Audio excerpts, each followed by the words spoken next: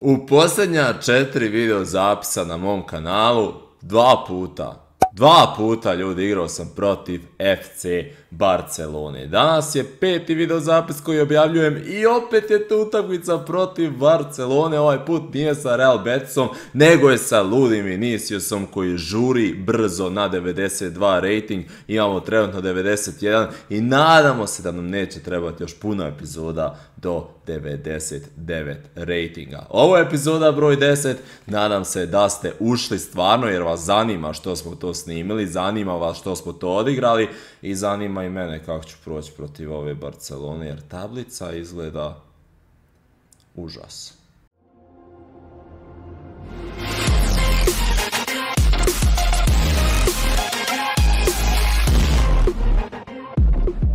Dobar dan ljudi, dobrodošli na moj novi video, dobrodošli na novu karijeru, player karijeru koju ste dugo iščekivali, realno svašta nešto ste dugo iščekivali jer e, u posljednje vrijeme nisam tako aktivan, to često govorim i stvarno nisam aktivan. Volio bi biti aktivniji jer vidim da se subscribe vidim da lajkate, a ja ne znam gdje ću ljudi, šljaka se.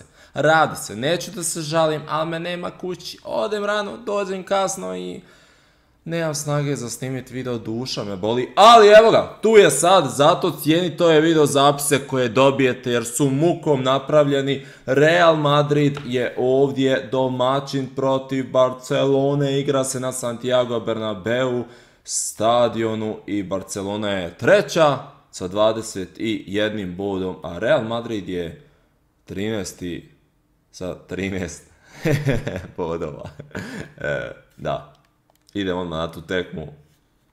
Depay, Griezmann, Dembele, dovoljno za reći. Pjanketa su doveli, tu je Pjanke sad na CDM-u, Bastoni.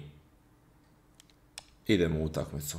Majko moja mila, pomozi. Pomagaj! Počinje utakmica ljudi, igramo kući, već smo rekli na Santiago Bernabeu, moramo što prije doći do 99 ratinga, baš me zanima koliko će mi trebati epizoda da dođem na taj željeni rating. Tad tek završavamo ovu karijeru, tad tek započinjemo drugu player karijeru i hoće biti ovdje s prvog napada možda pogodak. Benzo je... Benzo. Katastrofa si Benzo.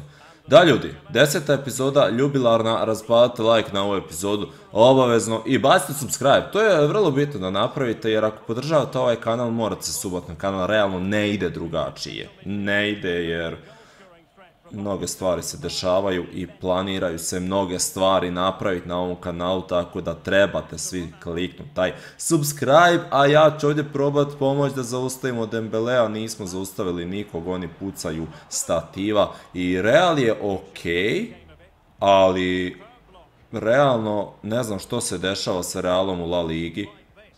Evo, bravo, sorry. Vini je do sad bio uvijek brutalan protiv Barce, Nadam se da ćemo i danas uspjeti ispuniti e, očekivanja našeg trenera i naših navijača. Može gore, evo prolazim ti ja, može nazad meni. Odlično, može sad u sredinu. Bastoni, kao stoper. Huh. Pike ili Bastoni? Pa ipak Bastoni, a? Šta radi ovdje Ter Stegen? Čavi je izveo stvarno strašno momčad. Gore, ja sad čekam da dođe tu jedna loptica, ja sam stručnjak u čekanju ovih lopti i stručnjak u ovome što sad gledate, znači e, koliko obožavam ovog Vinija. Znači ovaj Vini je meni strašan, pogledajte u brzinu. Naravno da ću bacati, ali ovo je Erik, ovo je Erik. Bože, kakav igrač, bar u Fifi ali nemamo nikakvu šansu prema golu, može li doći to do mene, može sad fines! Pa ovo nije bilo uopće blizu, uopće, sorry. Čavi nije ni malo zabrinut, jer vidi da nemamo nikakve šanse protiv njega. Ide u prostor, ide, ide, ide, ide, ide, ide, ide.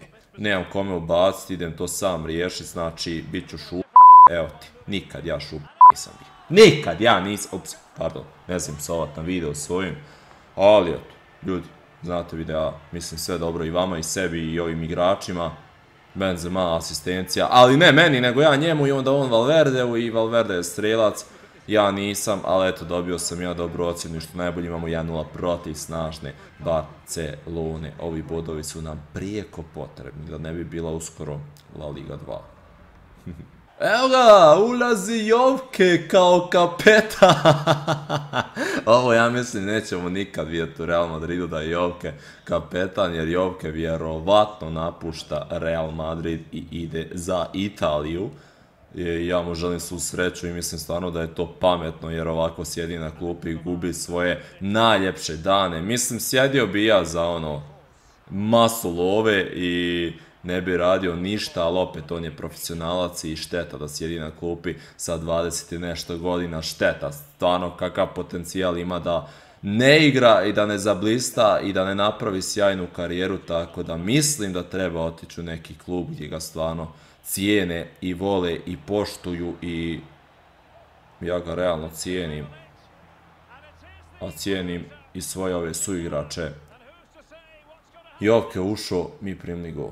Pa hvala ti Jovke, ako gledaš stvarno ti hvala. Šta ovaj laj? E, mislim, jedna od velikih e, katastrofa, što ću... Sad ću primiti gol. Gledat ću da unapra, unaprijedim neke svoje stvari u player karijeri u buduće. A mislim definitivno što trebamo naprijediti je držati svoju poziciju. Kao da igram karijeru a ne player karijeru, konstantno trči na sve strane i za loptom jer želim pomoć u svakoj situaciji, a moje nije da igram obranu i ja dalje idem u obranu. Znam da nema Ramosa, znam da nema Varana i ono, nemam jednostavno osjećaj da moji igrači mogu nešto dobro napraviti u obrani. Ali jedan jedan je ok rezultat. Druga stvar koju definitivno moram poboljšati su te finese. Konstantno idem na šut sa finesama. Znači, zaljubljen sam u finese i R1 i krug su meni, znači, milion e, eura na računu, ljudi. Ne znam zašto, eto, možda da manje koristim te finese, evo, probat ćemo sad da ne opalimo finesu, evo. Sad ja prolazim sve super, ide, men će Jovke odigrat, ja ću dalje proći, ja ću odigrat Jovke tu ovdje, ipak neću. Hm, neće imati šansu opalit na gol izgleda. Može meni, bravo, prolazimo ovdje, neću finesu pucat, neću finesu pucat, pucam ovako, bolje da sam pucao finesu. Ter Stegen, kakva obrana u 87. minuti. Mogu sam zabit za pobjedu svog voljenog kluba. Ode Memphis, ja ću se vratiti gdje god mogu sad. Bravo, bravo, bravo, odlično. 92. će sad se svirat i to je to, ja mislim da je gotovo. Neće nas pustiti. U napad! 1-1 protiv Barcelone imamo, zabili smo mi prvi, poveli smo, ja sam naravno učestvovao u tom napadu, da se malo pohvalim ali smo ubrzo primili taj gol i da, samo bod. Malo, čak i razočaravajuće. Definitivno što moramo napraviti je odsimulirati jedan trening. Konstantno simuliram, ne igram i to je možda i problem, zato mi se možda i ne penju ocjene tako brzo, ali simulacija isto pomogne, evo vidio sam da mi je pomoglo, još uvijek sam na istom mjestu. Sad imamo Borusiju, čuj Borusiju, Atalantu, vidim ovo u B pa rekao Borussia, nije Borussia, Atalanta je tu ljudi, to imamo i definitivno ćemo to odigrati, ja sam neke utakmice između Barcelone i te Atalante simulirao i trenutno smo drugi na tablici, Bergamo Calcio je prvi sa 10 bodova i ovo ćemo ići definitivno ovdje odigrat, ova pobjeda nam je potrebna, idemo vidjeti može li Vini napokon zablistat u Ligi prvaka prošlu epizodu, mislim, ako se dobro sjećam, Atalanta nas je razvalila. Počinje tekmica, ne igramo u kući. A, igramo u gostima. E, to nije dobro. Ovo uopće ne izgleda super. Igramo stavljenu klasiku. I dosta utakmica simuliram ljudi koji vi ne vidite, odim na kalendar simuliram jer se stvarno nevažne utakmice ne igraju. Nama je cilj da, da Real dobro igra i da bude što bolje ove sezone, ali nam je cilj da vini za blista. Ja sam rekao, ako ne dođemo ove sezone do 99 ratinga, definitivno mijenjam klub, nećemo ostati u Real Madridu, idemo negdje dalje, gledat ćemo tko će najviše para ponuditi, možda Manchester City, a možda Paris, odlučit ćete vi to u chatu, vidjet ćemo kakve će ponude doći, ali definitivno poslije druge sezone, ako ne bude 99 rating, mijenjamo klub, nećemo ostati sezonu broj 3 u Real Madridu. Može Kamavinga meni ovdje dolje, molim te, jer e, ja ću riješiti ove ovdje stvari. Znači, prepustite ovu utakmicu meni, ja sam doktor. Ne znam, što se događa Karimu? Znači, Karim, bože, Evo gore, vidi kakva lopta. Možeš gore produžiti na stranu. Kako ne, kako ne, kako ne. Idemo dolje, prolazim. Pro... Kako sam brz. Muso. Muso. Pa što mi ne pusti ovo? Ajmo, idemo sad opet, idemo proći ovdje sve što možemo proći, dobija loptu naravno naš Benzo koji je prebrz vraća meni, jer bez mene ne ide, ubacit ću sad, nisam mislio ubaciti, ali evo jedna dobra lopta gore, Modrinjo skače, ali rekao sam već prošlu tekmu, Modriću baš ne donosi puno skakanje i sad Iličić je tu s loptom, da, Iličić je jako opasan, Marcijal, ima dobro stvarno e, postavu Atalanta, svaka im čast što su napravili ovdje u ovoj Fifi, u ovoj sezoni broj 2 i može ovdje sad Vini vratiti nazad jer puno napraviti ne možemo. Otvorilo nam se nešto mjesta, tu sad možda možemo proći, prolazimo ovdje još uvijek može na povratnu, odlična lopta, Benzo je sam, Modrić, Benzo. Hvala Vinicius. Vrlo jednostavno. Samo 7-7 ocjena, a ovako sam dobar, ali dobro, 25 minuta je tek tu 1-0 za Real Madrid. Idemo, prolazimo sad odlično po strani. Kako je prebrz! Ova igrač je najbolji mladi igrač na svijetu. Ja sam glup, kako sam imao priliku. I Modrić, aj drago mi radi našeg Modrića, ali... Kako nisam ovo zabio? Pa i meni su potrebni golovi, Modriću tebi nisu, imaš 37 godina, umirovio si se već. Dobro, nisi, pardon. Sad vrijeđam čovjeka stvarno, ni kriv ni dužan, jer sam sam sebi kriv. Šta sam fulo, ali dobro, eto ga. Zbog mene Modrinju zabio. Da. Sorry Modrić. Ajmo još jedna lopta meni. Ide, prolazim, imam snage, brz sam možda, ovo može biti sad treći pogodak i definitivno simuliranje do samog kraja jer nam je nepotrebno igrat, može ova finesa ovdje. Kako ovaj Muso brani, što mu je? Oj, oj, oj, oj, oj, oj, Atalanta ima dobrog golmana, iako imaju dva pogodka primljena. Dobar golman, ljudi, nemojte se smijati. Ajde brže meni, odlično ovdje može sad se poslat u sredinu, naravno nije zaliđe, može opet meni, prolazim ovdje, može li šut. Šta se događa? E sad ću odigrat i drugo polovrijeme. Ja on golmanu moram zabiti gol, definitivno, ovo je užas, šta mi je sve danas obranio?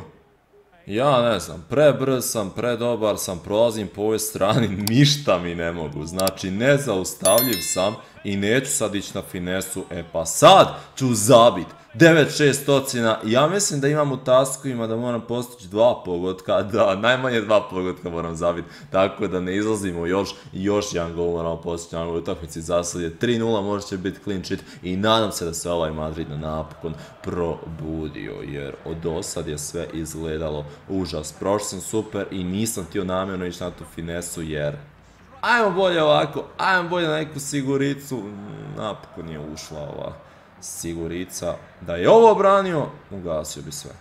Ne bi više s njim.